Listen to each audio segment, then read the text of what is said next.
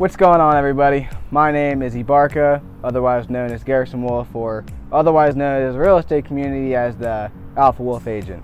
Today I'll be talking about the highly underrated lead generator in the real estate community, otherwise known as door knocking. So a lot of people, especially a lot of the older agents, uh, age and time in the market, they don't really view door knocking as feasible and as high quality. But for the newer agents, such as myself or really anyone that wants to get into it, I highly suggest door knocking as your main source at first. And really, here's why. Two experiences I've had with door knocking, uh, they really they, they really treasure you if you give them a good uh, good smile and good charisma. But so far out of my door knocking, I've gotten about four leads, or several leads and four closings just out of door knocking, going door to door, you know, letting them know you exist, letting them know that, you know, just look in the area for any houses for sale or anyone looking to buy or sell. And make sure you have, you know, your cards on you. And I'll go through a whole, uh, whole list later on in the video letting you know what's going on and the best tips to roll with when going with door knocking. So right now we're going to go through some of the pros and cons of door knocking.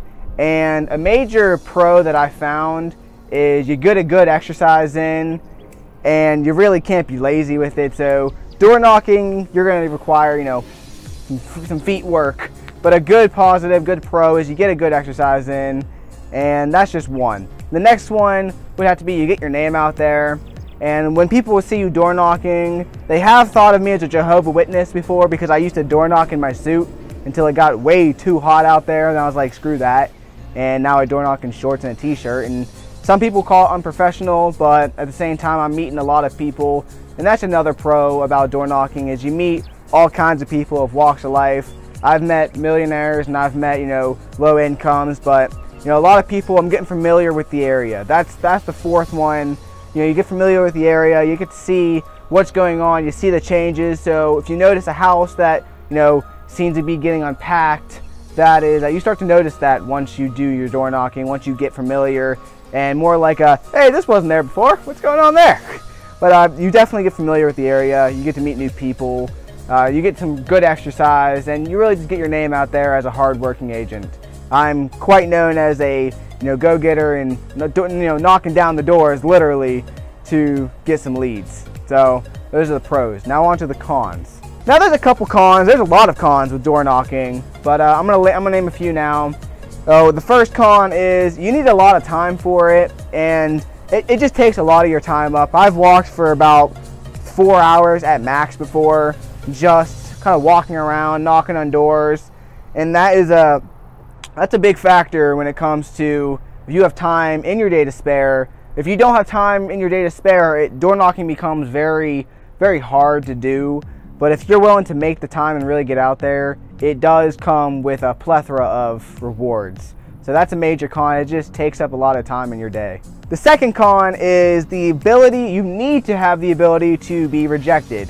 To have the door slammed on your face, and I speak on I speak on that from experience of getting cussed out, getting possibly the cops called on me.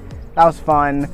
And someone really thought I was trying to break into a lot of places because I'm just knocking on their doors and just kind of walking around the area.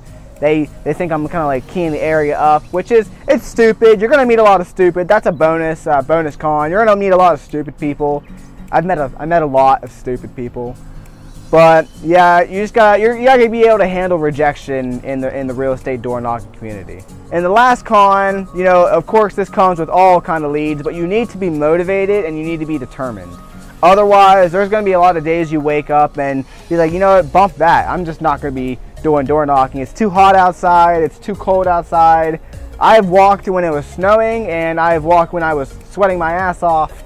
It's just overall crappy uh, you know, that's just part of the job. If you're not willing to bust your butt off and really, really get out there, if you don't have the determination, the motivation, you're not going to go far with door knocking. So, highly suggest you wake up, smack yourself in the face, take a cold shower, get that motivation because you're going to need it for this long journey. Now, on to the actual list of tips that I can give you for door knocking.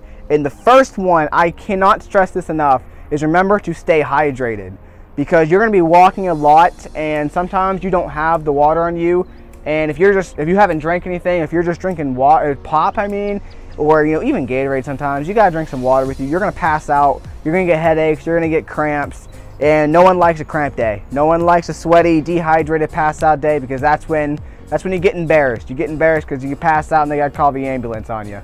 A second one on the list is make sure your phone is charged and make sure you're it's ready for the day because if you don't have the ability to answer any phone calls for somebody that you give your car to earlier in the day or in case there's an emergency of course you're uh, you're kind of screwed. Because if you don't have a phone you can't really just yell into the heavens and hope God sends you down some helicopters because you'll be screwed if you don't have a charged phone if you don't have any kind of you know way to communicate with somebody if there's an emergency or if they decide hey let's call this guy let's set something up. So make sure you have your phone on you and you're ready to charge and this is the one that uh, I broke. I broke this rule a couple times because I'm kind of an idiot.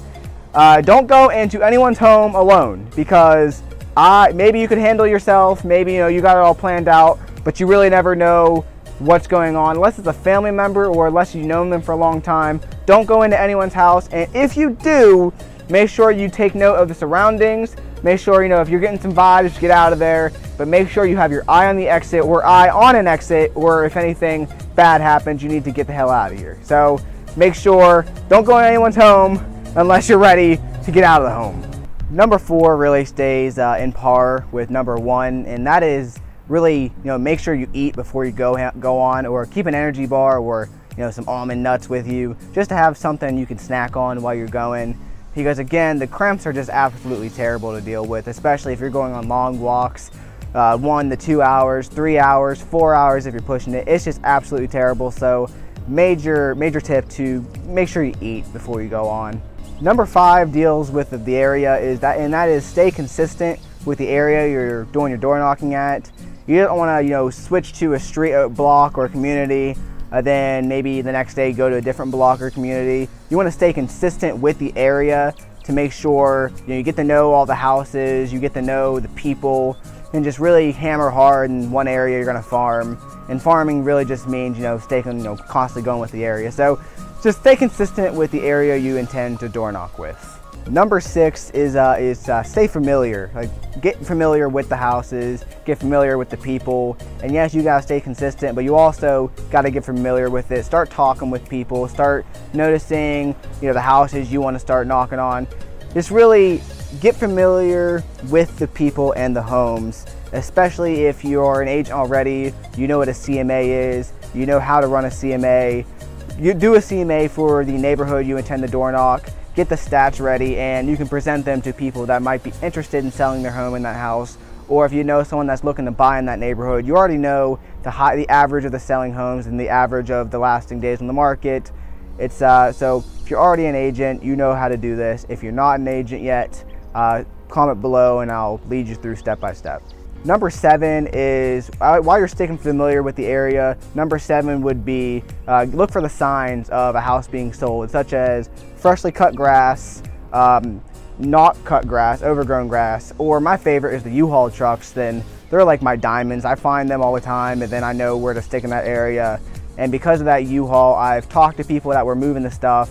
They told me about the home. And I've actually generated one sale from it just from looking at a U-Haul and getting familiar why why that U-Haul is there and what I can do to help. So look for signs that a home is being sold or intended to be sold. There's also um, packed cars.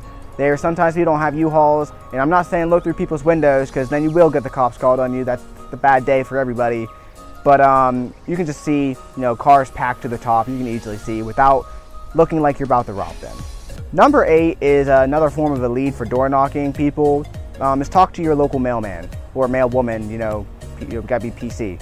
But um, talk with them. They know the area more than you do because they do that every single day and they get paid for it. You do too, but they get paid consistently. And they, so they know the people, they're friends with the people, and they are an excellent source of generating leads or any kind of possibility of talking with them. Really, talking with them can benefit you because it lets you know more about the area and more about its people. So talk to your local mailman. If you have mailman friends, I do, so I'm lucky. But if you don't, get friends, get really associated with them. A bonus one is uh, the dumpster workers, the, the trash garbage people. They know more about the area too than you do. I promise you that. So keep in contact with them, and it will serve you well. This is this tip is not for everybody, but number nine is really get familiar. If you have a family member in that neighborhood, they again know the area more than you do, and they could give you tips on you know who's moving, uh, who just died. I know that's terrible to say, but you got to do what you got to do in this in this real estate community. But um, family members are a great source, especially if they live in the area. They know it a lot more than you do, and they can give you tips. And if they don't, you probably should get more family. And last tip on my on my list is really just ask the locals what's going on. Be frank with them. Let them know you're a real estate agent, you're looking to sell, or you're looking to buy homes, or sell the home for them, and you might have a buyer if they're interested. Uh, just get local, get to know the local people. Again, get familiar. A lot of this is just stay consistent and get familiar.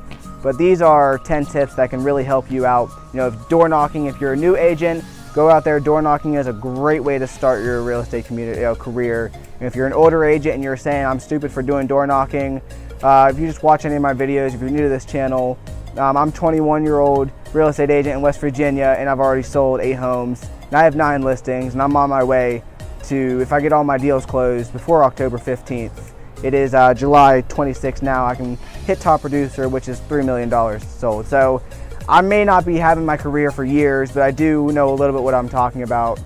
So if you guys have any tips, I'd love to hear from you too. And if there's anything about this video that you would like to critique, comment below. I'd love to take criticism. I'd love to take it to, you know, really better myself. And I love bettering myself as a person. I hope you guys do too. But um, thank you all for watching, and I hope you all enjoy the video. If you know anybody that would benefit from this video, comment below, share this video, and even hit the little bell icon to let you know when I upload. Trying to upload twice a week uh, starting today, which is fun. But um, I will see you all in the next video. Thank you all for watching. Have a good day. Bye.